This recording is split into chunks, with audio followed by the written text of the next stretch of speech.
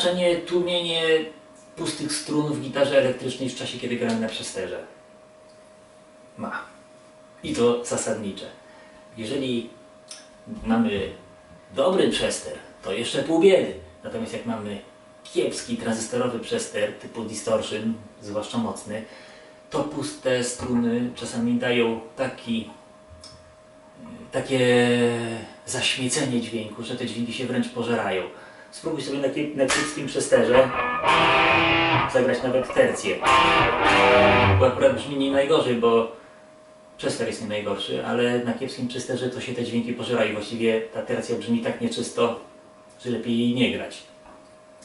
Jeżeli natomiast odzywają się puste struny, no mamy. Puściłem ręką struny, jakoś tam brzmią, prawda? Spróbuj coś zrobić.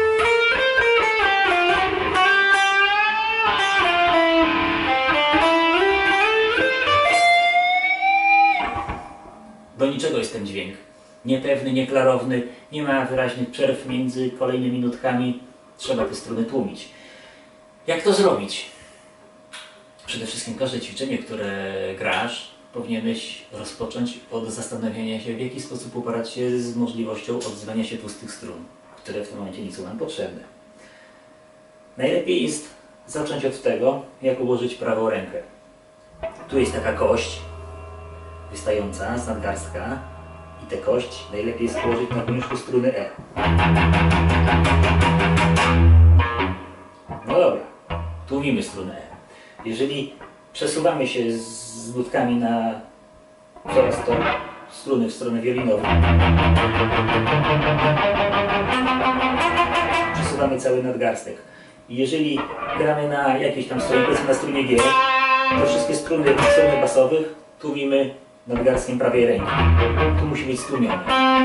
Co zrobić ze strunami wiolinowymi? Za to odpowiada lewa ręka.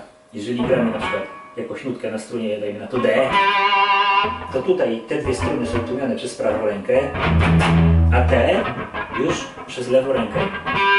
Tu palec leży na progu, trzyma strunę, a pozostała część palca pilnuje, żeby się nie odezwały puste struny wiolinowe. I tak jest na wszystkich strunach. Dobra, zagraj, zagrajmy gamę.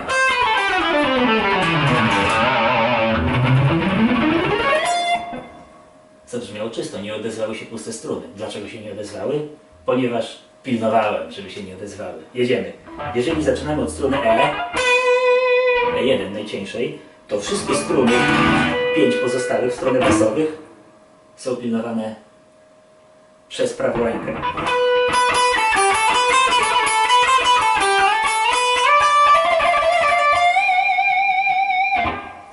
Jeżeli natomiast zmienimy sobie strunę na strunę H, to już te cztery pilnuje prawa ręka, a tu są strunę E, pilnują palce lewej ręki. Cały czas palec będący na strunie H pilnuje, żeby się struna E1 nie odezwała. No dobra, zmieniamy struny, popatrz powolutku. Pilnujemy tych pięciu strun prawą ręką, zmieniliśmy na strunę H, już cztery struny pilnujemy prawą ręką, a te jedną pilnuj- pilnujemy palcami od lewej ręki. Znowu. Teraz dwie strony są pilnowane przez lewą rękę, trzy przez prawą. Tak dalej.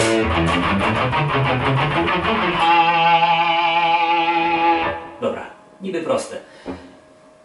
Czasami jest potrzeba zabrania z roli tłumienia prawej ręki, bo na przykład chcemy wysoko podciągnąć jakąś nutę.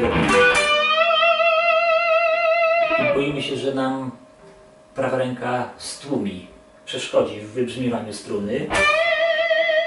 To wtedy palec wskazujący od lewej ręki odpowiada za to, żeby się nie odezwały puste struny. Popatrz. Tu pilnuję lewą ręką.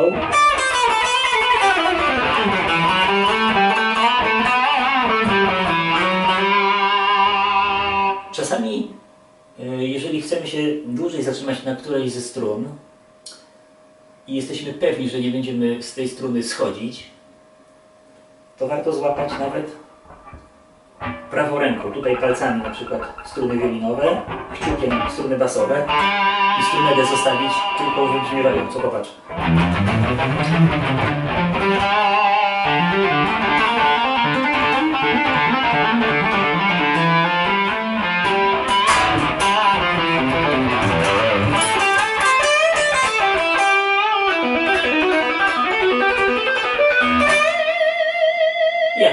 Pociągnąć znowu, zwolnić z obowiązku pilnowania pustej struny prawą rękę, no to palec wskazujący idzie na pilnowanie y, od y, odczucia ręki lewej pustych strun. No dobra, to były podstawy. Teraz się zastanowimy chwilkę nad tłumieniem y, w trudniejszych sytuacjach, kiedy szybko zmieniamy struny. Kiedy gramy pasaże i daleko są dźwięki od siebie, to szybko zmieniamy struny. Zagramy dla przykładu pasaż Amol przez trzy oktawy. Nie najgorzej. Nie odezwały się puste struny. Zabrzmiało czysto i w miarę błyskotliwie. Y, Spróbuję teraz Ci opowiedzieć, jak tutaj tłumienie opracowałem do tego pasażu. Zaczynamy od pustej struny A. Więc już odruchowo lewa ręka idzie pilnować pustych strun. Tu kciuk pilnuje strunę E, tu palce pilnuje struny wewnętrznej. Czyściutko brzmi pusta struna A. Jeżeli wchodzimy teraz na C i na E, to grają nutkę C, grają nutkę E, palec wskazujący pilnuje tych pięciu strun, palec mały pilnuje tych pięciu strun. Dobra, wchodzimy do A, oktawę wyżej i znowu struny wielkowe są pilnowane przez palec wskazujący, a szóstka jest pilnowana przez prawą rękę. Teraz tak, jak wchodzimy, no popatrz jak kostka idzie, bardzo szybko pojawiły się puste struny i za tymi strunami musi iść w obowiązku tłumienia prawa ręka. Widzisz? Natomiast lewa ręka ma tutaj robotę skomplikowaną, bo jeżeli tu zmieniamy strunę A na D, to pojawiający się tutaj na strunie D palec, akurat tutaj obrączkowy, już kończkiem tłumi pustą strunę A. Tu to robi takie przesunięcie, że jednym palcem y, gramy na ten samym progu na dwóch strunach, więc tutaj unosimy delikatnie palec, tak żeby podniesiona, podniesiony palec ze struny spowodował jej stłumienie. Tutaj wchodzi palec y, środkowy, tak żeby stłumił strunę G, potem palec wskazujący, żeby strum, przyciskając strunę 1 strum, stłumił strunę H.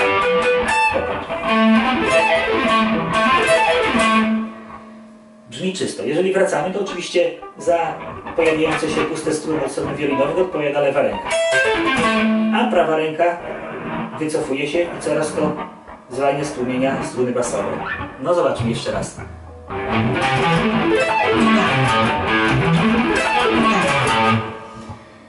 Akord E-dur teraz zagramy przez cztery oktawy.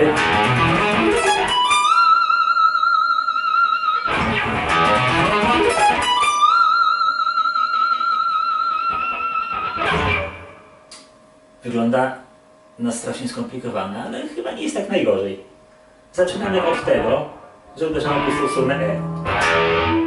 Żeby nam się nie odezwały puste struny wiolinowe, to przy graniu dźwięku GIS i graniu dźwięku H i z powrotem E małym palcem na środku progu, już palce pilnują strun wiolinowych. Widzisz, czyściutko wszystko brzmi. Teraz przenosimy się na GIS i grając ten GIS, już końcówka palca wskazującego pilnuje pustą stronę, żeby się nie odezwała. I tak jak w poprzednim ćwiczeniu, Przesuwamy prawą rękę tłumiąc pojawiające się puste struny od strony basowej. I wykańczając, żeby ładnie zaśpiewał ten yy, podciągnięty dźwięk E, pilnujemy pustych strun palcem wskazującym lewej ręki, żeby prawa ręka przy tłumieniu przypadkiem nie przeszkodziła przy podciąganiu struny.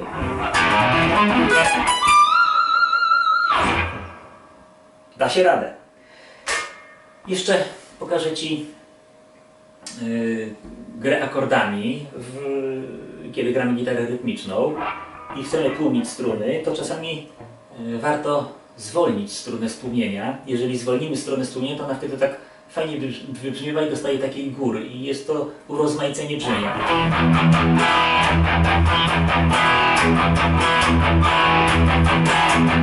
To takie najprostsze ćwiczenie. Ale jeżeli zagramy jakieś takie bardziej skomplikowane interwały, na przykład tercje,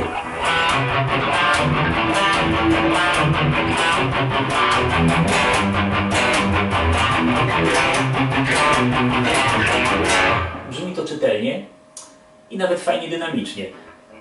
No dobra, klasykę sobie przypomnijmy.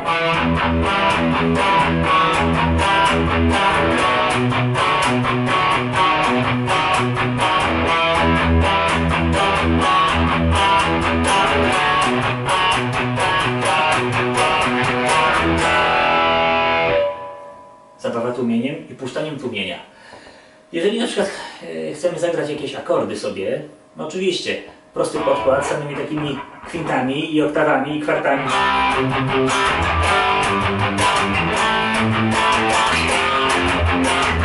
No, prosta sprawa, ABC, gitary rytmicznej na przesterze. Ale jeżeli chcemy zagrać pełnymi akordami, żeby się pojawiły również tercje, żeby gitara rytmiczna zaznaczała harmonię, a nie tylko yy, tonikę i kwintę, to można zagrać zamiast C-dur na przykład gramy, to zagrać tutaj tercję.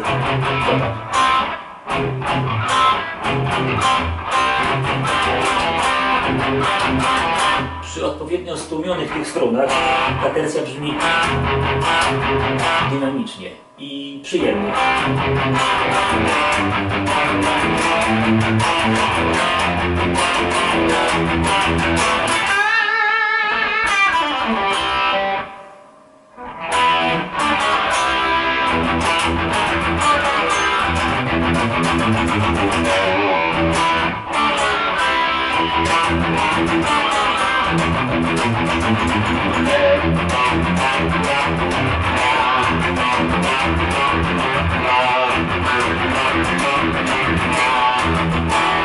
Dobra, to cóż, tyle natomiast na temat tłumienia strun na przesterze. Pokażę Ci jeszcze e, taką zagrywkę, która polega, która polega na nietłumieniu. Włączę przesterek. I zobacz, teraz będą się specjalnie odzywały puste struny. Jeżeli gramy jakieś dźwięki bez tłumienia strun basowych na strunach wiolinowych, to wzbudzają się na zasadzie rezonansu puste struny. To się wtedy nazywa, te, te nie, nieużywane do przyciskania na progach struny basowe się nazywają strunami burdonowymi wtedy.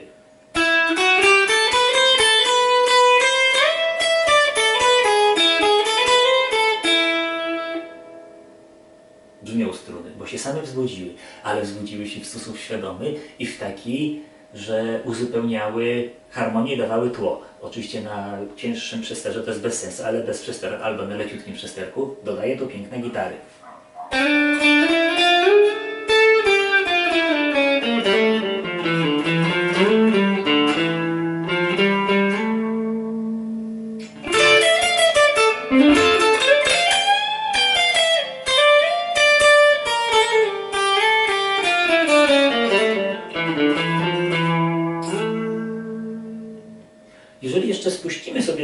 Strunę grubą,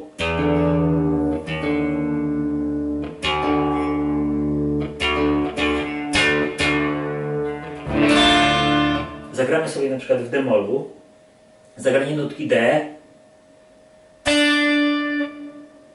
Powoduje, że wzbudzają się struny D.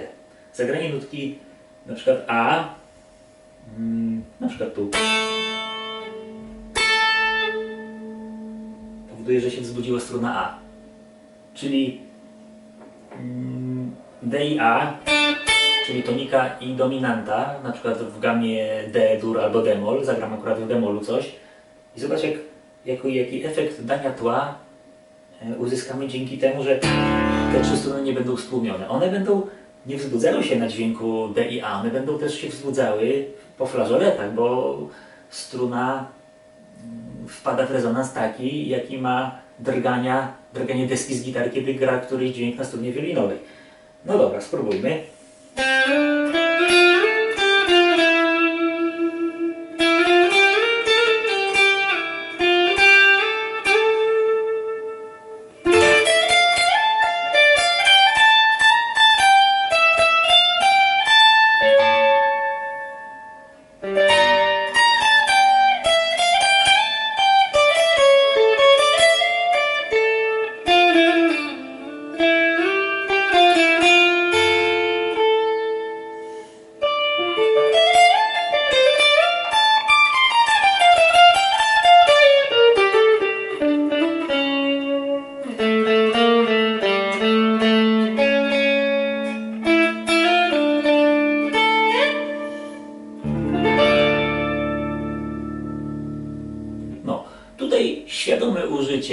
Pustych strun, które specjalnie nie- zostały stłumione, daje dodatkowy efekt. Więc nie wszystko trzeba tłumić. Raz tak, raz tak, ale jednak. Podsumujmy. Czysty dźwięk to precyzyjnie pewnie uderzony dźwięk jednej struny. To jest podstawa. Oczywiście dwudźwięki to jest y, rozwinięcie, jakieś tam efekty specjalne, ale generalnie gramy na pojedynczych dźwiękach. I każda dodatkowa, niepotrzebnie odsuwająca się struna psuje klarowność y, dźwięku. No i cóż, ćwicz, ćwiczenia, pamiętając o tłumieniu strun. Jeżeli Cię nie znudziłem i wytrzymałeś do końca, to naprawdę szczere wyrazy szacunku. Chyba tak długo, że tu już mi prawie 20 minut wychodzi. Jeszcze tak długo nie nudziłem, no ale może...